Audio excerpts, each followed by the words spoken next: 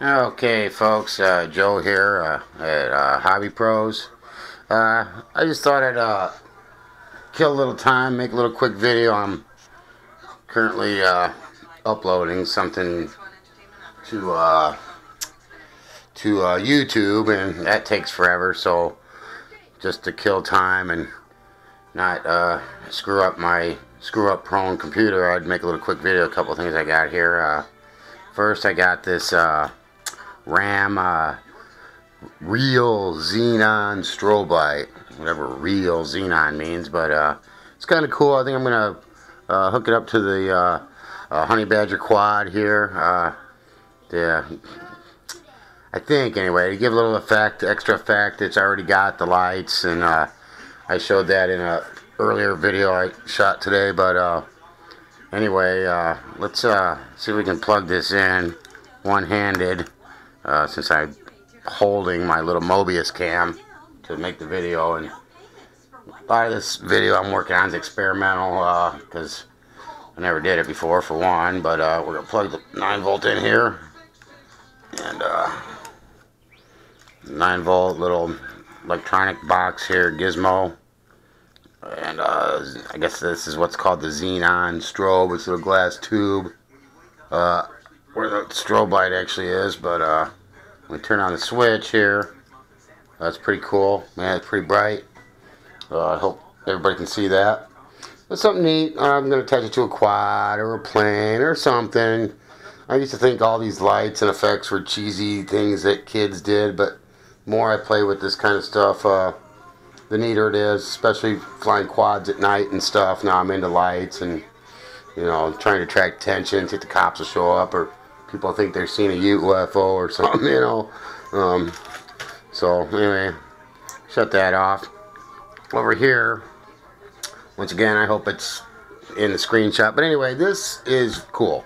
This is a soldering jig that I picked up from uh, uh, my favorite place, Ready Made RC. And uh, it's neat. We'll just look at it real quick. When you order it, you only get one of these articulated, clampy, holdy thingies, you know. But it, but I pop, uh, sprung for the extra one because if you want to hold two wires together between the two and solder it nice and straight, it's nice to have two. Or this one down here I use for like a Dean's plug. Uh, Dean's plugs, if you didn't already know, whenever you solder these dumb things, and uh, you need to plug them in.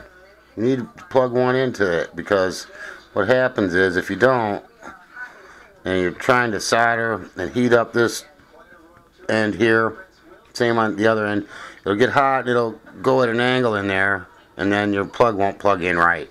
But anyway this is pretty slick here. If I can handle this all one-handed slips in there tighten it down see if I can make it work. Um, this one's supposed to go sideways. I can't remember. But anyway it goes in here. Uh, yeah, I'm gonna go buy me a tripod today. Let's set this down. Yeah, I'm buying a tripod today. I'm not doing this crap like this anymore. Slides in there. I even got the, maybe it's supposed to be this end one. I mean that's my freaking problem. Slides in there. Tighten it down. Holds that real secure. I actually thought it was better, but I'm not to worry about it today for this video demonstration. Anyway, that slides in there, holds that right there. Take the clamp, that down again. Put your wire in here. Better yet, let's use this other wire because it's already got like the way you should be doing it is the leads are uh, already tinned. But this little arm holds it real nice and straight.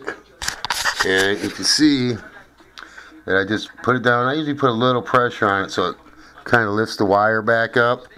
And normally I would have pre-tinned uh, the end, the, the gold colored end here. So when you uh, put your iron on it, just kind of hold down on it, it'll bend it right down to where it needs to be. Maybe even come in and add another little extra dot or two of solder. Take it off, it sits there, holds it nice, straight, perfect. Uh, you can't beat it. You know, let it sit for a while so it cools off. And take it out and you're done, it's soldered. Uh, so that's pretty slick. This other side here is pretty neat. The bullet connectors, same thing here. I'm going to undo this wire. Set that down again. Set that down again. Uh, Same thing here. If you're doing bullets, bullets need to be nice and straight because if they're not, it's a pain in the pain in the rear end to uh, get them uh, into the EC3s if you're doing EC3s. But just nice, neat, straight. Always just looks better. And uh, so looks, it holds it perfectly still. And then the bullets usually have a little hole in it where you can poke your soldering iron tip in there like so. And then uh, come back and uh, uh, while you're holding that in there, take your solder. You know, I got this is kind of slick little deal here. It comes out like that. While you're holding that in there, just feed it in there until it starts filling up and bubbling up. Let it sit. And when it cools off and hardens up like the solder is, you know, hopefully it looks all nice and shiny, good, uh, good hot solder joint, and uh, let it cool off. And then when you unclip it, you know, if it was soldered, it would, it would stay nice, nice and straight, you know, nice and straight in there like it's supposed to be. And voila, you're done. Simple and easy. Makes things, makes life easy. I love this tool. This is one of the best investments I ever made. Little pricey, $29.95 or whatever, but hey, man, the, the, the just it makes soldering so much so much simpler you know so much less hassle you know um, so uh, that's about it. I'm hoping my other youtube videos uploaded and joe from uh, hobby proz we'll catch you next time. See you bye